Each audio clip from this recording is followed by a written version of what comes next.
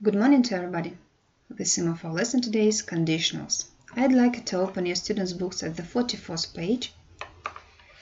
And first of all, let's rewrite this table in your notebooks.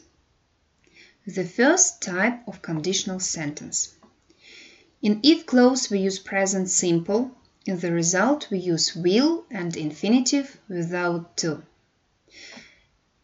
And the first type of conditionals we use when we're talking about the possible, uh, possible in the future. Итак, ребята, первый тип, первый тип устного предложения используется тогда, когда мы говорим о том, что возможно произойдет в будущем. Слово if на русский язык переводится как если. Соответственно, if and present simple это у нас условия. Значит, в условии мы используем present simple, а в результате мы используем вспомогательный глагол will или же модальный глагол can, might, допустим, may. И инфинитив без частицы to, то есть тот же самый present simple. Например, if all the people work together, если все люди будут работать вместе, life will improve. Жизнь улучшится. Unless all the people work together, life won't improve. Если люди не начнут работать вместе, жизнь не наладится, жизнь не улучшится. Unless, если не, слово используется. The second type of conditional sentences. We use if plus past simple in the if clause and would, could and infinitive without to in the result. And we use the second type of conditional sentence when we talk about the unreal present or future or when we are giving advice. Второй тип условных предложений мы используем так, когда даем какой-то совет или же говорим о том, что могло бы произойти то есть это наше предположение, но это что-то нереальное. Например, if he had time, he would volunteer for a charity. Если бы у него было время, он бы вызвался волонтером благотворительности. Или же мы даем совет. If I were you, I'd help them. Обратите внимание, что здесь можно сказать как if I was you, если бы был на твоем месте. Также if I were you. Если бы я был на твоем месте, я бы им помог. The third type of conditionals. We use when we're talking the unreal past, о том, что не произошло, наоборот, мы о чем-то сожалеем. We regret about something. And we use if and past perfect in the if clause and would and present perfect in the result. Например, if I had won the competition, если бы я выиграл соревнование, I would have given the prize money for a charity. Я бы отдал призовые свои деньги на благотворительность. То есть то, что могло произойти, но не произошло. Мы сожалеем о чем-то, что, что было в прошлом. Note, примечание. We don't use a comma when the if clause follows the main clause. Мы не используем запятую, то есть не разделяем два этих условия и результат, если у нас условие следует за результатом. Например, I would help them, я бы им помог. If I were you, если бы был на твоем месте. При этом if I were you, комма, если бы я был на твоем месте, I would help them. Я бы им помог. Rewrite this table in your notebooks. Перепишите, пожалуйста, эту таблицу в свои тетрадки.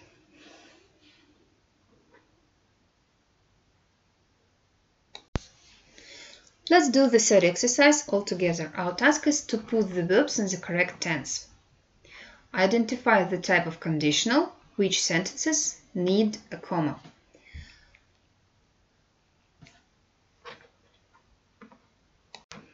Запиши глаголы в скобках в правильном времени, а также укажи тип условных предложений.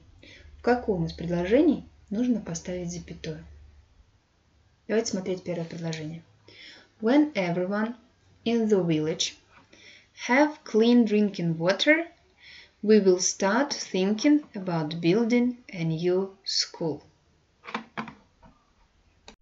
Когда у каждого в нашей деревне будет чистая питьевая вода, мы начнем задумываться о постройке новой школы.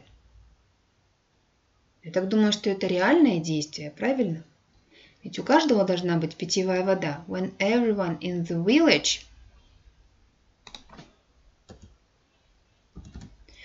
has clean drinking water, we will start – так как у нас и в условии, и в результате мы используем present simple tense. If we not find a way to protect endangered species, they will disappear. Если мы не найдем путь к защите вымирающих животных, они исчезнут. Если мы не найдем, дай бог, чтобы нашли, да, If we, здесь отрицание, вспомогательный глагол present simple tense, do, does, да? If we don't,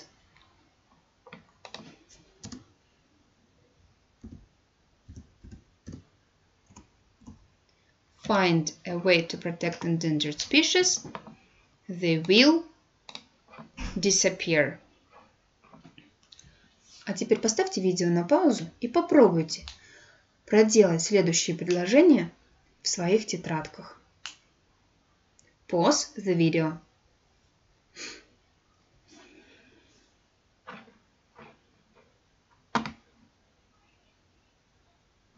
Let's check your answers. If I were you, ну, if I were you мы уже видим, здесь подразумевается, что это второй тип условных предложений. Обо втором типе условных предложений мы обязательно используем вспомогательный глагол would. If I were you, I would volunteer for charity this summer. She not realize poverty was a serious problem in the city if she hadn't visited the slums. Она бы и не осознавала, что бедность такая серьезная проблема, если бы она не посетила трущобы. Slums. She wouldn't have realized. То есть она их посетила. If, кстати сказать, это третий тип условных предложений.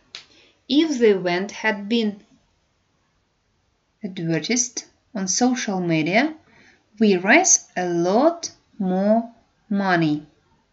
Had been advertised. Advert – реклама, рекламировать.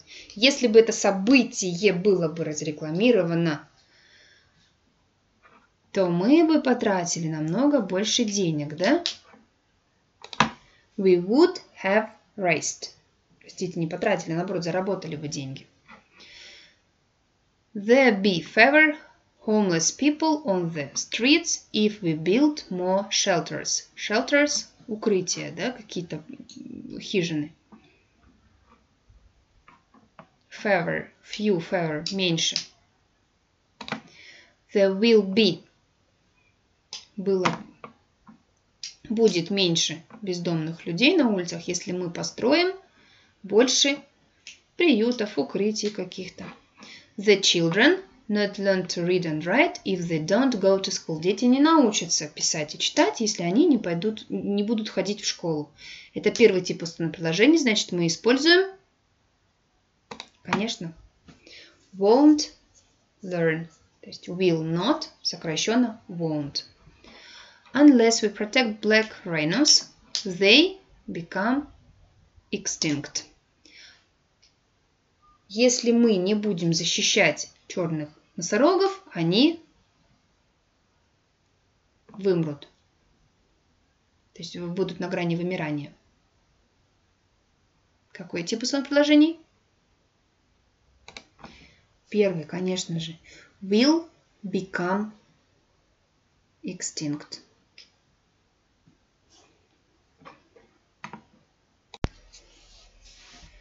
Exercise number five. Write sentences using the correct conditional. Запишите предложение, используя правильный условные предложения. Итак, данное упражнение вы записываете самостоятельно в тетрадку,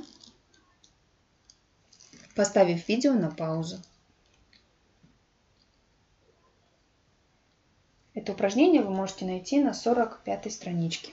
Exercise number 5, page 45. Pause the video.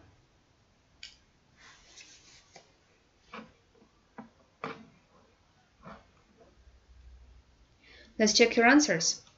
You didn't turn off the cooker, a fire started in the kitchen.